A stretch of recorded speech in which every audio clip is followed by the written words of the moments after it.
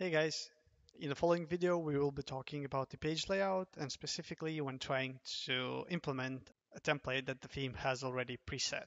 Uh, in order to do that, you'd have to go into the backend of the page that you're trying to work with and then just scroll down to the layout section. Uh, there you'll see three options, how-tos, templates, and layout. In the how-tos, you'll find a couple of videos that will help you with setting uh, the layout for uh, the page and explaining uh, everything that you need to know about the page settings. In templates, you'll be able to find all the options that the theme has in terms of layout templates. And you can choose any of these to implement on any of your pages. And in the layout, you'll see the current layout applied, which right now it's the one that's on default where you have the header, the WordPress title, the WordPress content, and the footer placeholder. So when you're trying to create uh, a layout for your page, you have two options. You can either use one of the templates from here, or you can build it yourself.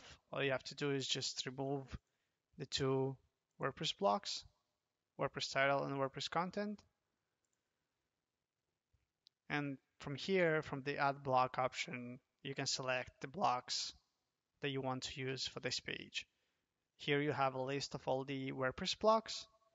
And here you have Flex block where you'll be able to choose the layout that you want to use for this specific section.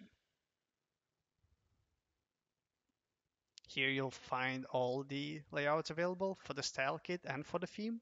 And I would recommend you to go through all of them and just explore all the options that are available so you know exactly what you're trying to use for your pages so you make it more unique more entertaining.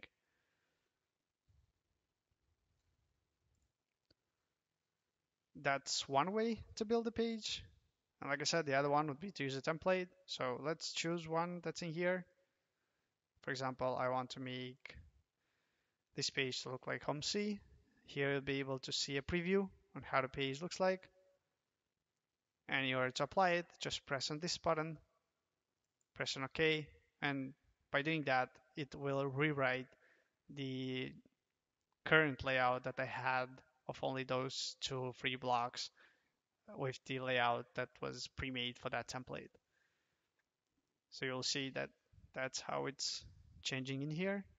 So you have the header placeholder, then you have the left title with one image centered, the text block, and so on.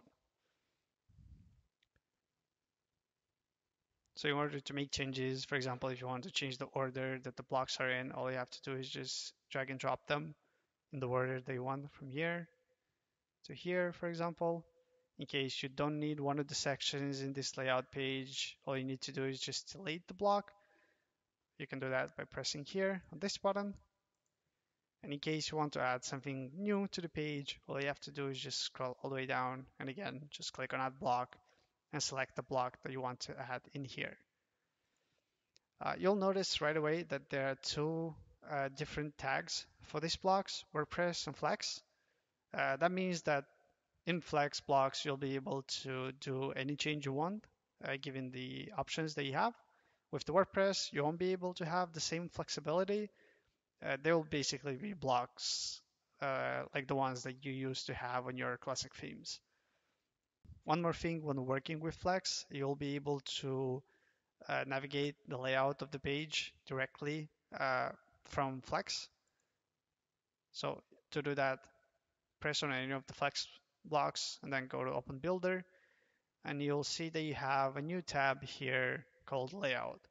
So when I press on that, you'll see a list of all the blocks that you have on this page specifically. So let's say right now I'm working on this one, and then I want to go directly to the testimonial block to make some changes in there.